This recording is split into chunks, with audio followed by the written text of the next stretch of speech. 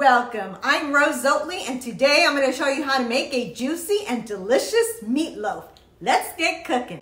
If you're in the mood for delicious food, come cook with Rose Oatley. We're going to start by chopping and dicing one small onion.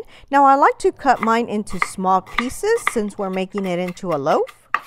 Next, you want to dice three to four garlic cloves. I've got one that's pretty small, so I'm using four today. Now we're going to chop up some fresh parsley. This is probably pretty good. If you need a measurement, I would say about two to three tablespoons. I like my meatloaf nice and thick, so today I'm going to be using two packages. To give you an idea, this one is 1.78 pounds, and this one is 1.64 pounds. I guess total would be about 3 pounds 7 ounces. Now you want to add your beef to a large bowl preferably a larger one than I have here. Then we're going to start adding our onions, garlic, and parsley that we chopped up. For my seasoning, I'm adding one and a half teaspoons of kosher salt or to your taste. Now we're going to add a little bit of pepper. You could do about one teaspoon. Add one teaspoon of basil. If you have fresh, go ahead and add fresh instead. Add two teaspoons of Italian seasoning. I've got some Heinz ketchup. You can use any type of ketchup. We're going to add three tablespoons. I'm also adding one tablespoon of Worcestershire sauce, half a cup of whole milk. I like to use plain panko crumbs. We're going to be doing one cup of this. If you're only using two pounds of ground beef, then you want to add 3 4 cup of panko crumbs and about 1 3 cup of milk. Everything else can stay the same. Break three eggs into a small bowl, or two if you're only doing two pounds. Give them a quick whisk, then add them to your bowl. With clean hands, you want to start mixing everything together. I'm using gloves today, but you can use your bare hands. This is the consistency you want. You want it a little bit sticky, enough to be able to mold it. Now that it's well mixed, I'm going to go ahead and add it to my board. At this point, you want to start forming it into a loaf. Now, you could either use a cookie sheet pan. Once you form it, just place it on top of your cookie sheet pan, or you can use a meatloaf pan, which I'll be using in just a bit. I'm going to spray my pan with a little bit of grease spray. Now I'm going to start adding it to my pan, making it a nice, big, thick loaf, filling it up all the way to the rim. Now, if you prefer, you don't have to fill it all the way to the top here like I am. You can do two loaves.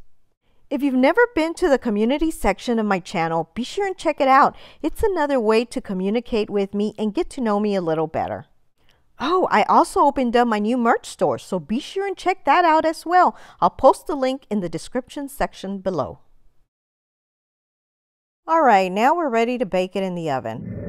You want to bake at 375 degrees Fahrenheit or 190 degrees Celsius for the first 45 minutes. Then while it's baking, we're going to go work on our glaze. For the glaze, add half a cup of ketchup into a small bowl. Add half a teaspoon of sriracha sauce. Half teaspoon of garlic powder. Add about one quarter teaspoon of salt and pepper. Two and a half tablespoons of light brown sugar. Make sure to level it off and that it's not a heaping tablespoon. I'm also going to add one and a half teaspoons of white wine vinegar. Now, if you don't have the white wine vinegar, you can go ahead and skip it, but I think it gives it a really nice extra flavor. Give it a mix until it's well combined and smooth, then set it aside. After 45 minutes of baking, we're ready to add our glaze. Just spread it all on top, giving it a nice thick layer. You're watching Rose Oatley. Watching Rose Oatley. Like, share, subscribe, and hit the bell to get notified of any new videos.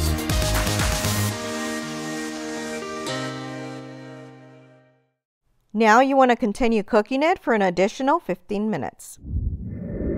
Once it's out of the oven, let it sit for about 5 minutes, then we can start cutting.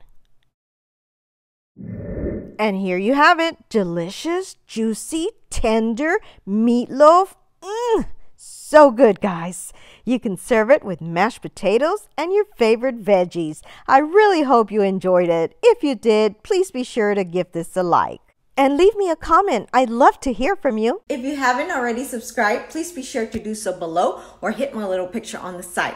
Also, don't forget to hit the little bell to get notified of all of my new videos. And please be sure to check out these links on the site. Share with your friends. Thanks for watching and your support.